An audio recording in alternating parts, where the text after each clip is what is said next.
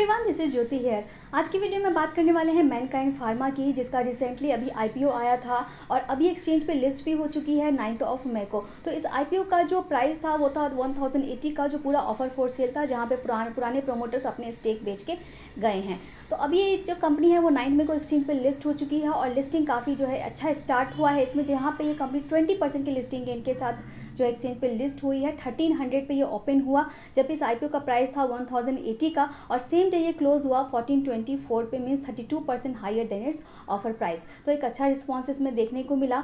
जबकि अगर इसके सब्सक्रिप्शन की बात करें तो टोटल ये 15.32 टाइम सब्सक्राइब हुआ था। लेकिन रिटेल कैटेगरी में ये अंडर सब्सक्राइब हो गया था। तो ज़्यादातर जो यहाँ पे डिमांड है, वो क्यू आई ने दिखाई और एंकर इन्वेस्टर्स ने भी इस आईपीओ में अच्छा डिमांड दिखाया था। लेकिन रिटेल कैटेगरी में इसमें खास डिमांड देखने को नहीं मिली थी और ये अंडर सब्सक्राइब हो गया था। मीन्स जितने लोगों ने रिटेल कैटेगरी में इसमें अप्लाई किया था, उन सभी को ये आईपीओ अलाउड हो गया। तो अब इसमें बात करेंगे कि आपको ये आईपीओ मिला था तो आप इसको में क्या कर सकते हैं? लॉन्ग टर्म के लिए क्या कर सकते हैं? शॉर्ट टर्म में क्या करना चाहिए? नहीं मिला था और अब आप लेने का सोच रहे हैं, क्योंकि कंपनी के फाइनेंशियल्स की बात करें तो कंपनी के फाइनेंशियल्स काफ़ी अच्छे हैं। कंपनी का नेट प्रॉफिट जो है वो कंसिस्टेंटली अगर देखें तो पिछले कुछ सालों से ग्रो होता आ रहा है। कंपनी का R O E twenty three percent से ज़्यादा है मीन्स कंपनी पैसा बना रही है। तो कंपनी जो है फाइनेंशियली ग्रोइंग है ब्रांड की बात करें तो हर कोई इस ब्रांड से फेमिलियर है। मैनकाइंड के जो प्रोडक्ट्स हैं, जो उनके फॉर्मुलेशन है, और डॉक्टर्स जो है वो इंडिया में बहुत ही तेज़ी से प्रिस्क्राइब करते हैं। इनके कुछ प्रोडक्ट्स जो हैं, वो बहुत ही पॉपुलर हैं, और इंडिया के फार्मास्यूटिकल प्रोडक्ट्स में टॉप टेन की रैंकिंग में इनके प्रोडक्ट्स आते हैं। और अब लिस्ट होने के बाद मार्केट कैप के बेसिस पे इंडिया की फिफ्थ लार्जेस्ट फार्मास्यूटिकल कंपनी भी बन चुकी है। पहले की चार की बात करें तो पहले नंबर पे सन फार्मा है then Divi's lab doctor Reddy और सिप्ला और अब पाँचवें नंबर पे ये मैनकाइंड का नाम आ चुका है। तो फाइनेंशियली जो है काफ़ी ग्रोथ है। अगर हम पिछले एक साल की बात करें तो फार्मास्यूटिकल कंपनीज़ में कुछ खास रिस्पांस देखने को अच्छा जो ग्रो है ग्रोथ है वो नहीं देखने को मिल रहा था। लेकिन पिछले एक दो महीने से अच्छी एक इम्प्रूवमेंट देखने को इसमें मिली है।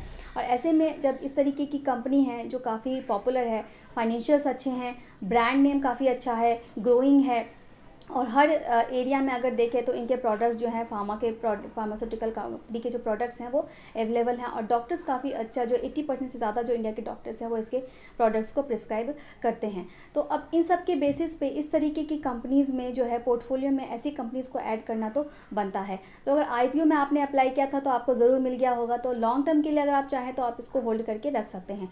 शॉर्ट टर्म में एडवाइस है कि आप इसमें मोमेंटम ट्रेडिंग कर सकते हैं। और अगर आपने नहीं किया था तो जैसा कि हमने बोला कि रिटेल कैटेगरी में कुछ खास डिमांड देखने को मिली नहीं थी।